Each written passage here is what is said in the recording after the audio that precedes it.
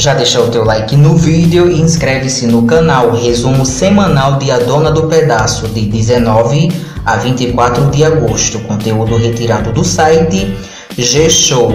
Segunda-feira, Maria da Paz atira contra Regis. Rock e Agno se esquivam dos questionamentos de Cássia. Chiclete se incomoda com o trabalho de Vivi. Os paramédicos socorrem Regis e Camilo prende Maria da Paz. Jô se preocupa com o estado de Regis. Gladys, Liris, Agno e Cássia chegam ao hospital onde Regis está internado. Márcio alerta Amadeu sobre a prisão de Maria da Paz. Jô confessa a Gladys e Liris que tem um romance com Regis. Rael insinua a Amadeu que Jô age contra Maria da Paz. Gladys e Agno se impressionam com a frieza de Jô. Amadeu visita Maria e ela afirma que sua vida acabou. Theo confronta Jô. Amadeu diz a Jô que sente vergonha de ser seu pai. Vivi pede que Kim abandone a ideia de simular um namoro entre ela e o cantor Lucas Luco. Amadeu dá notícias de Regis para Maria da Paz. Terça-feira, Amadeu informa a Maria que Regis está fora de perigo. Maria questiona a Amadeu sobre a ausência de Jô. Por influência de Agno, Adriano contrata Leandro. Chiclete se revolta ao ver a falsa notícia insinuando um namoro entre Vivi e Lucas Luco. Antero passa mal e Marlene o socorre. Leandro pega, por engano, um documento guardado por Antero. Fabiana exige que Agno e Otávio lhe comprem uma empresa. Maria da Paz diz a Evelina que precisa ouvir a versão de Jô sobre o incidente com Regis. Theo revela tudo o que sabe sobre Jô para Maria da Paz. Amadeu consegue liberar Maria. Jô revela a verdade para Maria e expulsa a mãe e a avó de sua casa. Marlene apoia Maria e Evelina. Vivi comenta com Fabiana sobre os mistérios de chiclete. Jô assume a fábrica de Maria da Paz. Quarta-feira. Maria da Paz afirma que irá recuperar sua fábrica. Regis desperta e chama por Maria da Paz.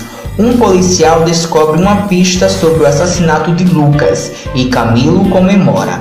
Otávio e Agno pressionam Fabiana a deixar a construtora. Fabiana visita Sabrina e diz que Vivi aceitou contratá-la como assistente pessoal. Maria da Paz pede perdão a Rock. Abel pede para conversar a sós com Britney.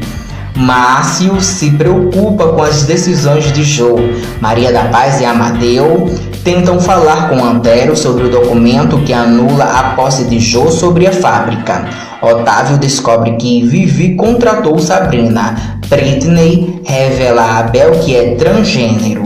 Regis expulsa Joe do hospital.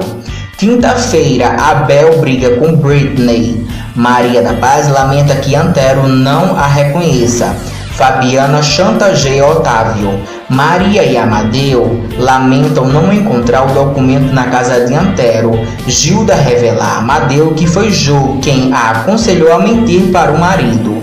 Quem convence Silvia a se tornar uma digital influencer. Jô se recusa a ficar na fábrica trabalhando.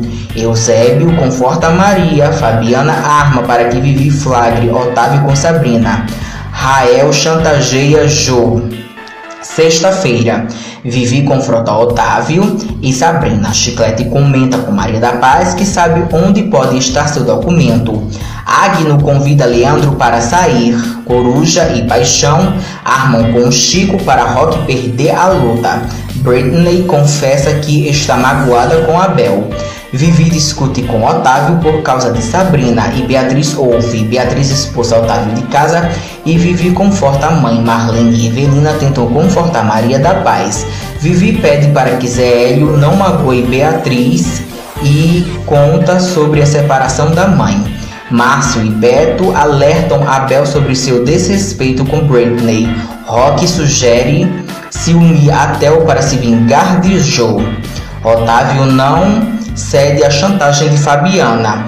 Linda comenta com Maria da Paz que acredita que Joe tem uma doença. Sábado.